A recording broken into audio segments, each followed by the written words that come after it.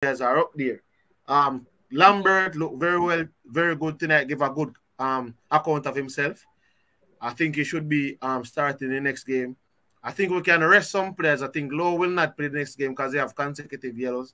But I think we can rest a few players against St. Kitts and Nevis. Not saying that we're taking resting our on our laurels. But you know, we will need fresh legs to go to the next round. And I think we should be getting the W. I don't like when people are um respect your, yes, respect your opponent. But St. Kitts and Nevis, with all due respect, St. Kitts and Nevis people. We fear beat, you know. So with all due respect, until you know, rise up to this level, yeah, we fear beat, you know. So, we're not going to be look whipping boys in the group, and we're going to beat on around this. But for me, we can rest some players. Hey, listen. Yeah. Listen, ball play hard, but in a sleep there. The ball round. Now do them something there, brother. Listen, listen to me, my, boss. With, thing, this thing about ball round. Nine out of ten time, we fear beat them Monday. So the te- we now go go there with the tenth time being that game. I am talking but me, me, me, me, me, I talk to the science man a morning. I want him tell me everything. When we come back from the panel weekend for the next match, me tell you how to go. but for me though, me, like as I said, as I said, we need to clean up. I'm gonna tell you, we need to clean up our second half um play. Because yeah. both games, uh, I think with the practice games that we played, both practice games, friendly games, and then both games right now in the Gold Cup, we get we had a very good 45 minutes. We are we are yet to play a complete game, Crystal. We are yet to play a complete game where we are looking in control of the complete game. Um, the last thing that I will say is this: the referee, the referees need to be cognizant of the fact that you're refing in an international co competition game. You, you cannot be so blatantly biased in your refereeing where every single thing is going against Jamaica to the point where you are, you're give, going to give a penalty away where the man clearly hit the ball. So you see the people who are saying that VAR, this VAR, that give thanks for VAR because if, if we never have VAR tonight, we'd have probably draw this game at 3 3. Because the man not get back a penalty. We don't know what could happen. Eh, so give thanks for VAR and VAR. Two things VAR did for us tonight. I mean, need people where, where, where others are eight pound VAR to re recognize. VAR gave us the goal against for Leon Bailey because they would have said it was offside. And VAR stopped us from conceding a goal. So tonight, VAR was on the side of Jamaica because the referee was on the side of Trinidad and Tobago. But, but, but why why they never have why they never have VR when for boss USA in a national stadium when Damian Lowe scored the Ratty goal? Then, but that is the thing. I mean, I tell you now, you see, people live on them learn. Just it's just all. The, oh, all, yeah. That is why. That is why Damian Lowe. Watch out. Notice that Damian Lowe come score a header against them again in a similar fashion. It's all karma. Right. So the same man come come score by you again. It's just yeah. karma. But, but, but you know, said, VR will always be VR because it's so inconsistent. It, it, VR is not the problem, you know. It's the person that they put in charge of the VR. They are the problem. VR is a solution to to um decisions that should be made that are very controversial or tight or too close for the eye to decide.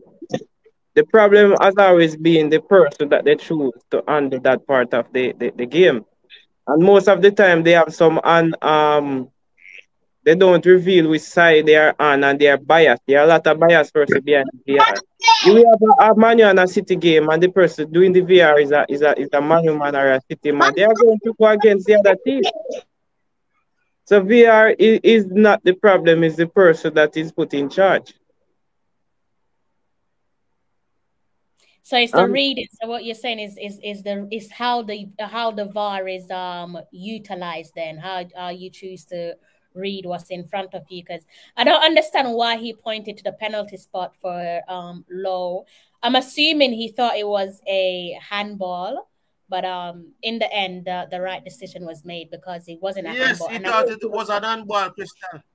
Yeah, the thing is, it was in a natural um position anyways because he's jumping. He's clearly jumping. He's a defender. How the hell do you expect him to jump without his hands going going in the air? I understand that sometimes players might try to intentionally um get the ball away from them by using their hands but that wasn't the case at all. Was no but that's the thing though. I mean yeah i think you have to look at like for me if you're the referee or the linesman you're watching the play when the player jumps, if the player is jump, so the player jumps like this, and you know that you, you can see that he jumps to and he jumps and does this motion.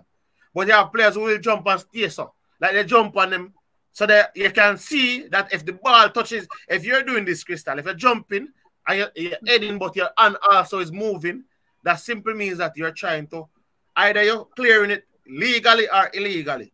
But if you're jumping, like Damian Lowe jumped and stay like this. So but Damian Lowe is heading towards the ball, but his hands are basically propelling propelling him up in the air rather than yeah. trying to pull him forward. So I'm thinking that the referee got that clearly wrong.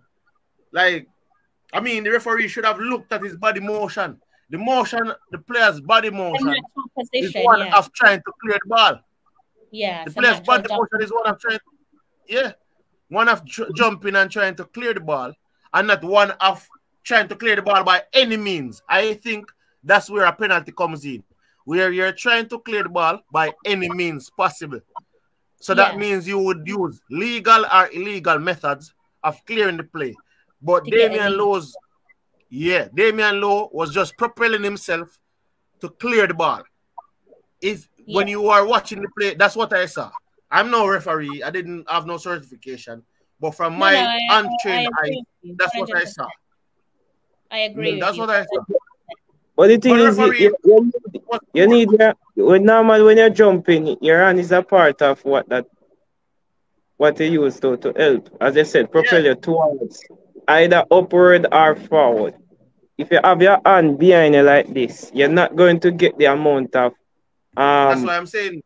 To get that um, reach yeah. that you want. Elevation. You're not going to get the amount of elevation. So it's important. It's, it's just that sometimes I see players jump and with the direction that they jump to hit the ball with their head, the, the, the hand is going with them like this. That is deliberate. Yeah. That is definite that is and ball. That is deliberate.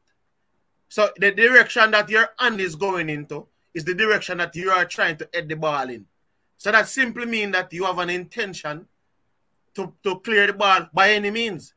So Damian Lowe and was not going in the direction that he was heading the ball. So that's the thing, you know. I think it's a split. For me, I would not have criticized the referee for this if he if he had been better in the game. But from minute one to the last minute, the referee is atrocious. I saw Leon Bailey make a breakaway play, and the, and the Trinidad defender came across and cut him across his body. Yellow card, clearly. If he was the last man, it was a red card. What did the referee do? Nothing. Foul, play on. So, like, the referee, not no, when Jamaica. It doesn't work when Jamaica is playing. Red card don't work when Jamaica is playing. A lot so of games that, should yeah. have been given to the opponent and they don't because I, I just see the, the, the bias against us is consistent. And the next thing too, this is why I think Jamaicans, if you're watching this stream, you all need to, oh, those of you who haven't gotten into football and coaching and other stuff, you need to get into refereeing so we can referee in some of these international tournaments. Because clearly there's a job opening out there. Because these guys, some of them don't know what they're doing. Or they're just blatantly biased in whatever they're doing.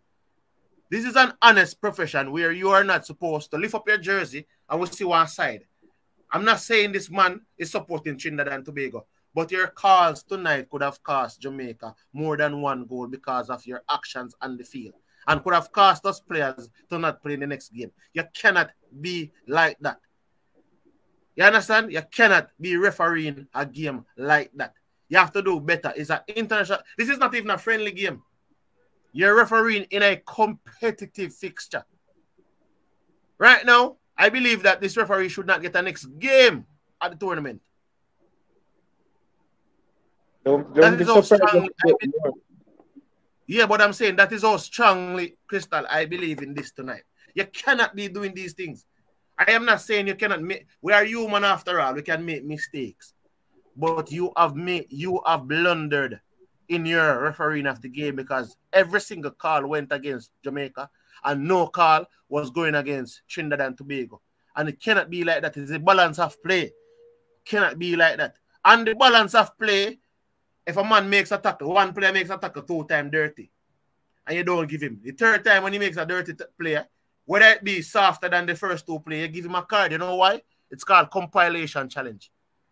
He, he, is basically that he has given he has fouled once, fouled twice, and if you allow him to continue, somebody is going to get hurt in the game.